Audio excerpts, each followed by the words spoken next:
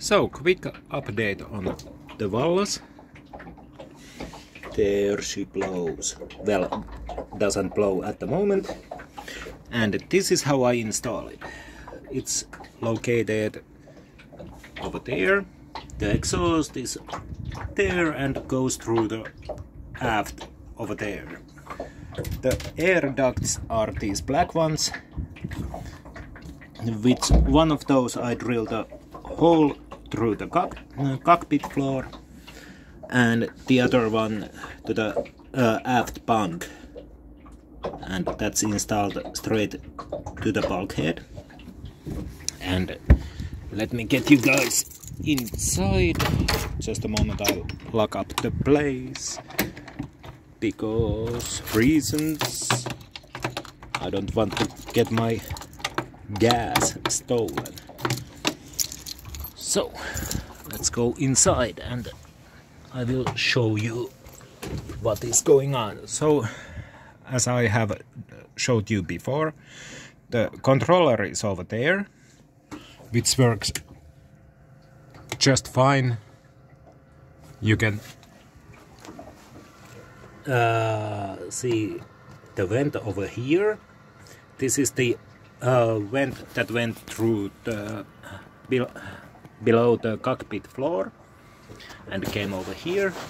The other one is located back there.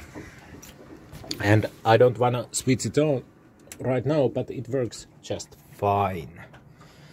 And that's about it. Sorry for not making any content.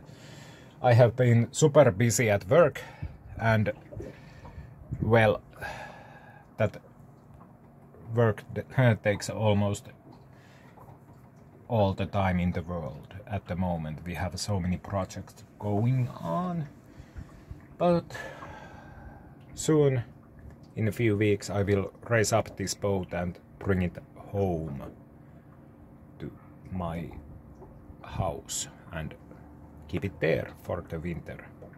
I think. Perhaps, perhaps not. Never know.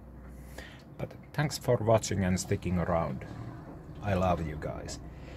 300 subscribers. That's awesome. Well, 298, but anyway, it's nice. And this is how the boat looks like inside at them.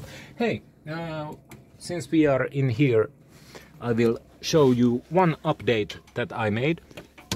And it's in the front cabin. And it's the IKEA LEDs.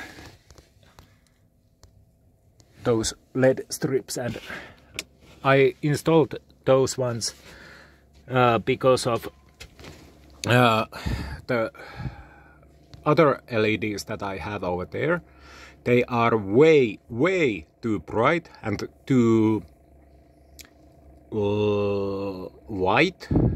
I like this uh, illumination much better. It shows well.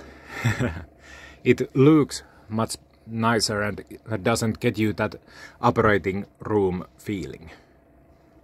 And yeah, but that's all the updates for now.